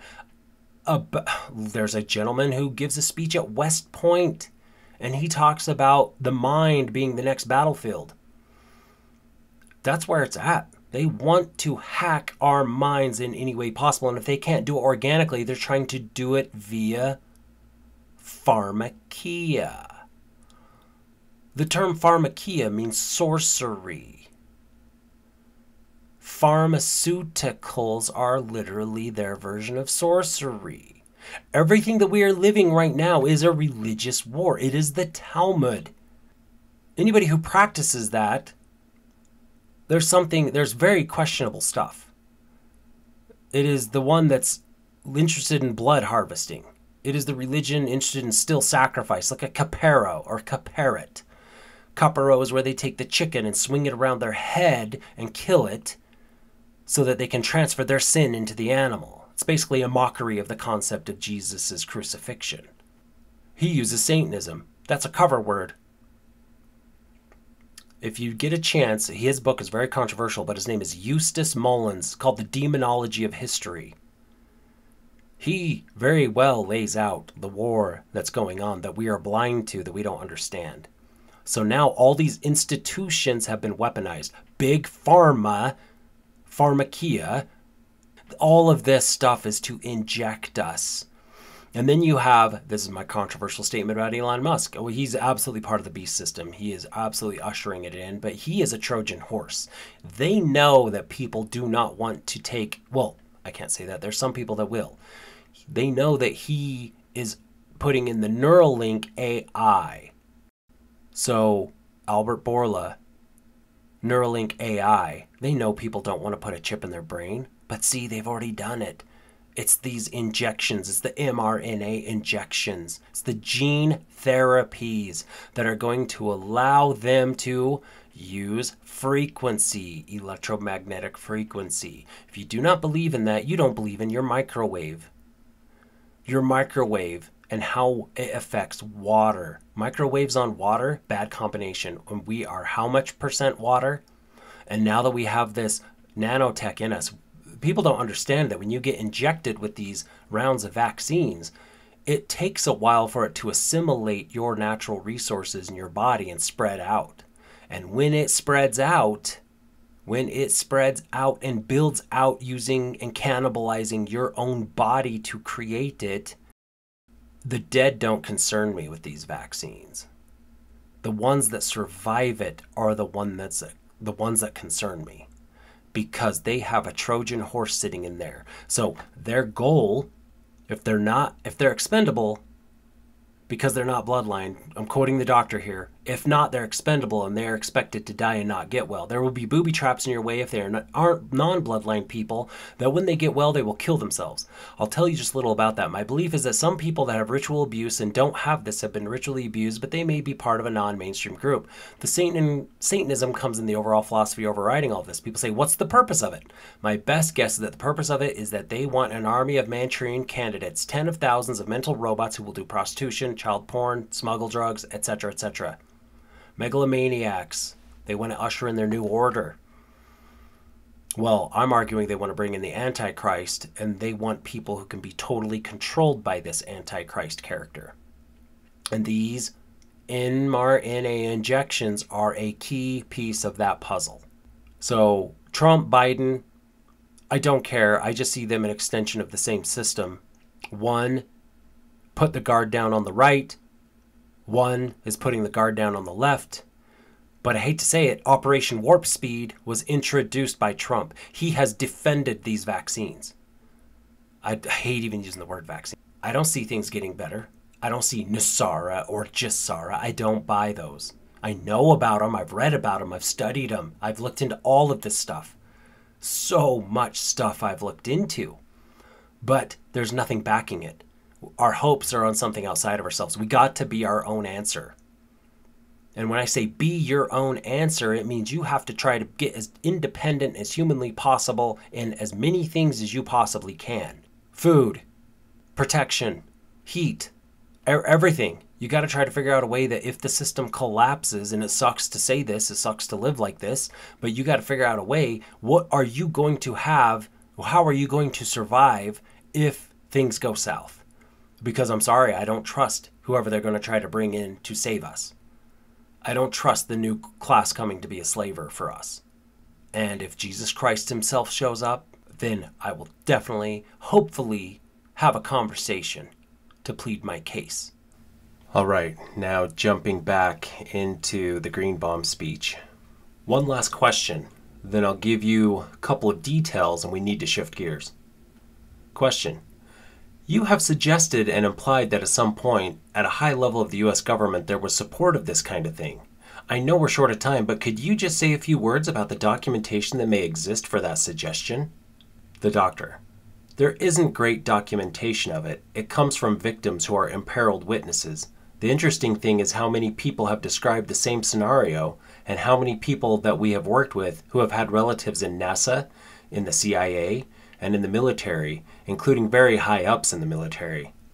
I can tell you that a friend and colleague of mine who has probably the equivalent of half the table space on that far side of the room filled with boxes with declassified documents from mind control research done in the past, which has been able to be declassified over a considerable couple of decades, period, and has read more government documents about mind control than anyone else, has a brief that has literally been sent in the past week and a half asking for all information to be de- declassified about the Monarch project for us to try to find out more.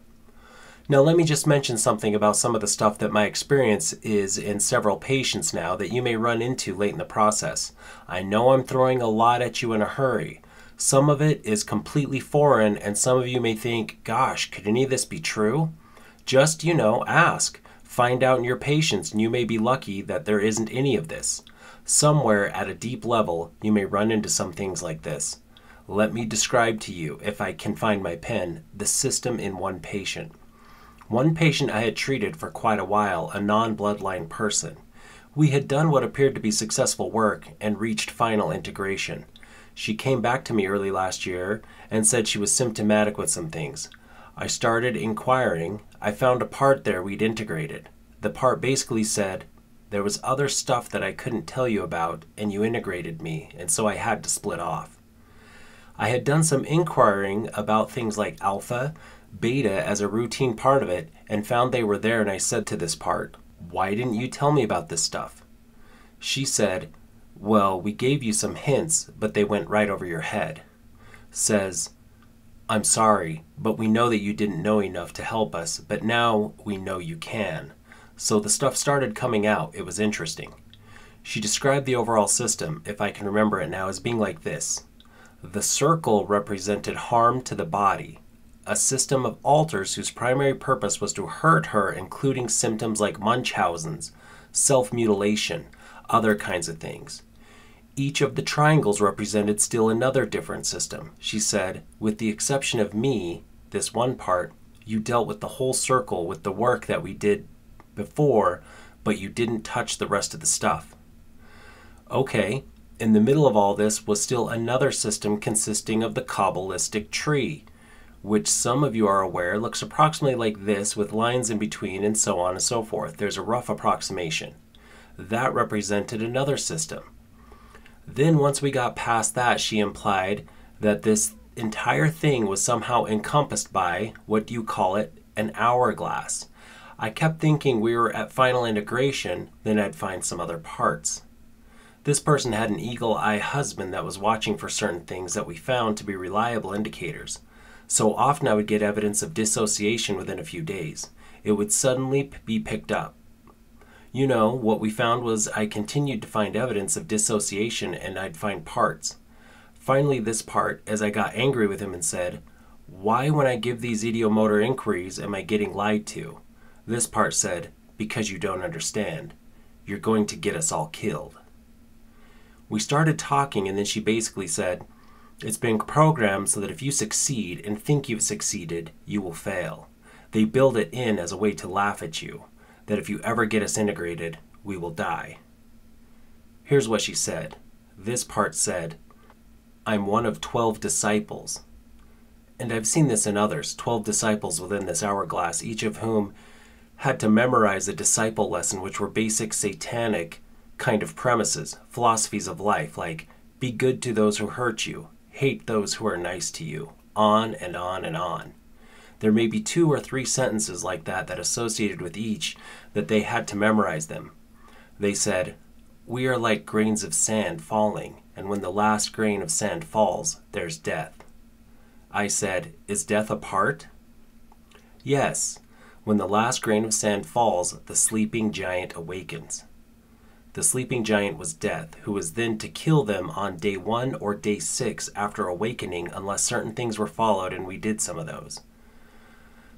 Well, we also found Death had a sister as a backup, used with mirrors to create the sister part. We had to get past and deal with that too. Death had certain things that they said had to be done to integrate. I started to say, Oh, come on, they lied to you before. She said, Wait a minute. This what they said you'd say. They said that no doctor would ever believe that they had to go to these extremes to get us well, and that's part of the reason they'd fail. I said, Well, tell me, tell me again. She said, I have to be dressed all in red. I have to have Demerol on board, have taken Demerol. A code has to be given, and it has to be in a room that's totally dark. It has to happen on day one or day six after this part's been awakened.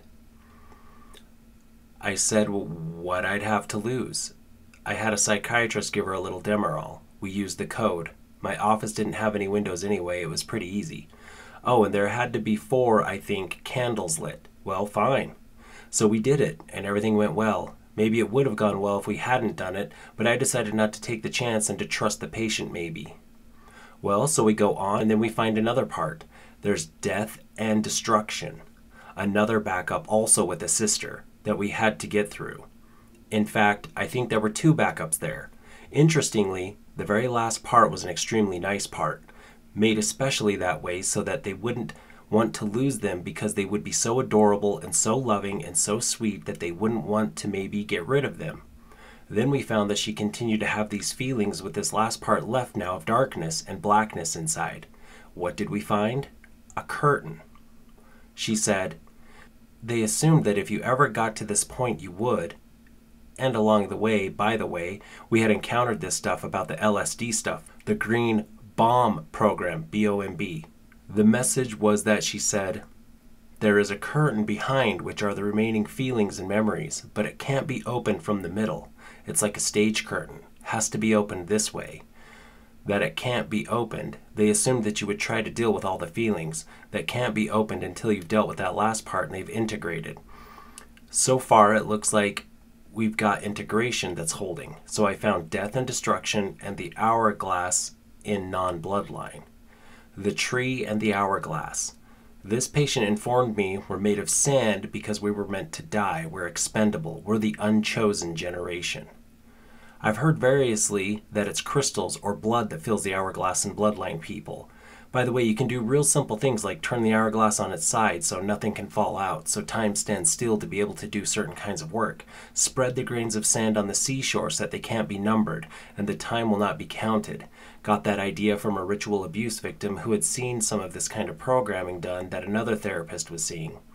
So, those would be just a few other hints about things that may be helpful or meaningful. We're talking about very intense things, and at deep levels, to me, this gives us two things. One thing it gives to me is hope because it gets to material and it makes progress like nothing else we've ever seen with these people who have it.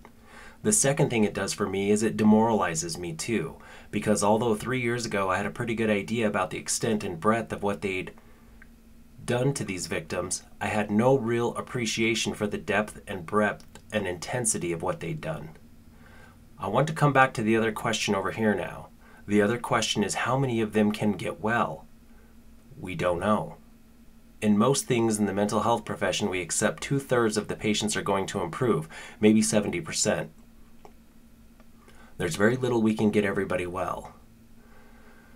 I think one of the sad things we have to face is that many of these patients will probably never be well. My personal belief is that if they are being messed with, their only hope of getting well is if they can somehow get out of contact. Now, I know patients who have gone to other states and simply had deep level alters pick up the phone and call and said, This is our new address and phone number, so that they could be picked up locally. I mean, in an inpatient unit for an extended period of time.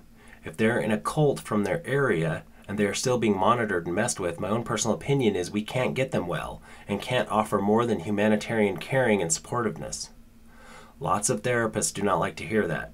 That's my opinion.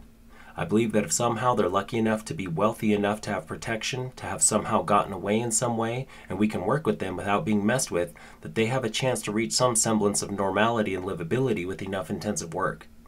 My own personal belief is I don't think anybody with this kind of programming is well in this country yet. There are some who are well along the way. I've got a couple who are well along in their work and have done a tremendous amount, but they're clearly not well yet. Question Could you speculate on the relationship between this stuff and the fantasy games that have been proliferating, Dungeons and Dragons, and that sort of thing? Well, there are a lot of things out there to cue people. You want to see a great movie, interesting movie to cue people? Go see Trancers 2.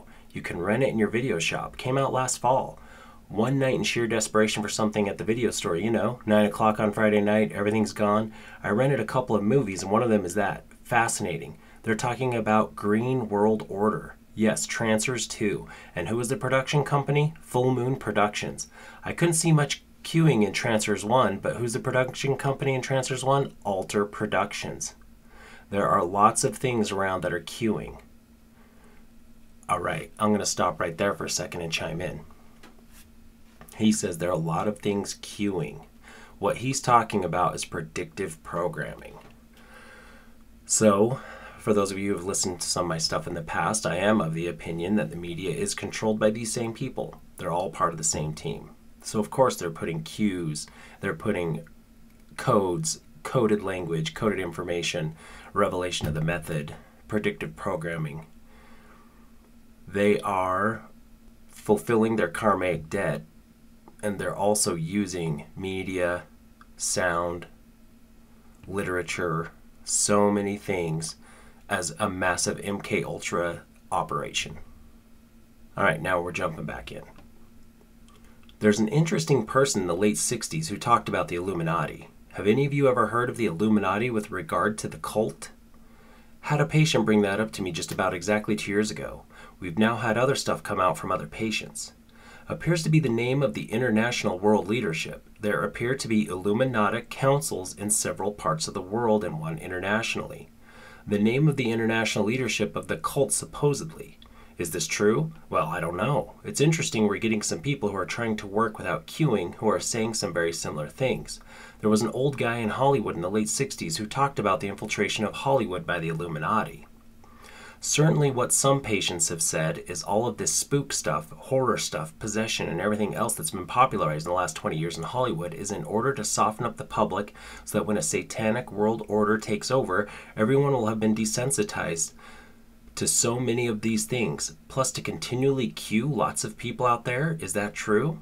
Well, I can't definitely tell you that it is. What I can say is I now believe that ritual abuse programming is widespread is systematic, is very organized from highly esoteric information which is published nowhere, has not been on any book or talk show that we have found all around this country and at least one foreign country. All right, I'm going to chime in again. Now, this was in 1992, I believe, again, when he spoke this, pre internet. Internet was barely in, in its public infancy. I mean, it was military way before. Internet is a military creation but I will argue the books have been out there. Zohar, Talmud, Greater and Lesser Keys of Solomon the King, Kabbalah, all the Judaic literature, the Jewish mysticism.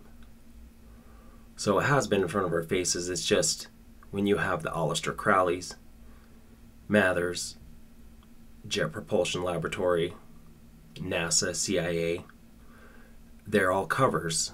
They're all cutouts they're all given to us to hide what they actually are, and they're all part of this. He says it's the Illuminati. You can use Trilateral Commission, Council of Foreign Relations, World Economic Forum, BlackRock, Vanguard.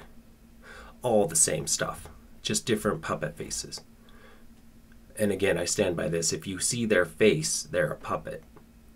If you see who is actually presenting it to you, they are not the power. So there's a shadow group I don't think we know who they are. I don't think we'll ever know who they are. And let's jump back in. Let's take a couple of quick questions and we need to get on to other material. Yes? Do you have any techniques for decreasing your level of uncertainty that a patient is or is not being still tampered with, messed with, as you said? Doctor. Just that I would ask several of the parts I've inquired about core, Diana, wisdom, master programmer. Several parts inside I would ask about these sorts of things, and I will keep asking it. As you do additional work and get a bit further, I would ask again to find out. In the back. I wonder if you've heard or you know of the Martin Luther bloodline. The what? Martin Luther bloodline. Doctor, I know nothing about Martin Luther bloodline. I'll give you one quick tip ask him about an identification code. There's an identification code that people have. It will involve their birth date. It may involve places where they were programmed, and it will usually involve a number in there, like 02 if they were second born. It will usually involve a number that represents the number of generations in the cult if they are bloodlines. I've seen up to 12 now, 12 generations. Question I've seen a lot of things you've been describing today in several patients. I wanted to ask you a question about the seven systems. You mentioned something about systems here. Are there seven systems? Dr. H. There has been that described in some patients. Yes, the seven systems. Could you say what that is or a little diagram? I don't think we know enough to know what it is, honestly. I think it may have to do with seven Kabbalistic trees. Question Have you ever had any evidence where any of these people have been tagged and there have been anything of their body parts that might be related to this private parts in particular?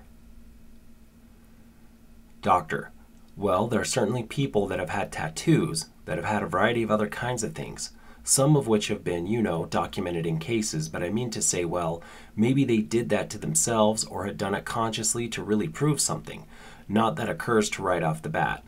Let me just take this one last question back, and we need to go on to other material because we're never going to get through it all. I'll just ask you to hold your question.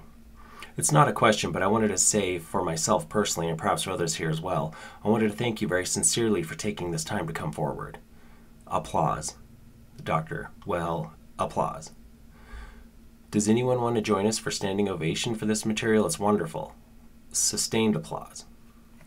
The doctor, a dear friend who's one of the top people in the field who I know has had death threats, but I know struggled for professional credibility in believing in MPD and was harshly criticized for even believing in that 10 and 15 years ago, and struggled to a point of professional credibility. I think in his heart of hearts he knows it's true, but he will say things like, I wouldn't be surprised to find tomorrow it was an international conspiracy, and I wouldn't be surprised to find tomorrow that it was an urban myth and rumor. He tries to stay right on the fence, and the reason is because it's controversial, because there's campaign underway saying these all the false memories induced by, along with incest and everything else, by Oprah and by books like The Courage to Heal and by naive therapists using hypnosis. It's controversial. My personal opinion has come to be if they're going to kill me, they're going to kill me. There's going to be an awful lot of information that's been put away that'll go to investigative reporters and multiple investigative agencies if it happens. And an awful lot of people like you, I hope, that if I ever have an accident, will be pushing for a very large scale investigation. I think we have to stand up as some kind of moral conscience at some point. I tried to wait until we had gotten enough verification from independent places to have some real confidence that this was widespread. I know we've gone like a house of fire to try to pack as much as I could in for you.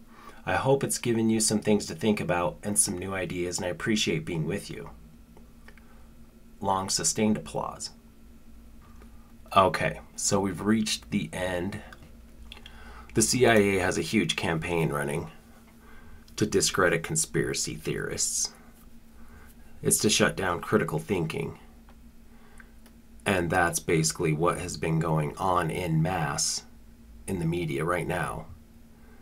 Even any controversial thinking, people now check themselves and think, "Oh, that's that's conspiracy." I don't care. Question authority. You have to question everything. Question everything. It's hard, it's lonely, it's depressing.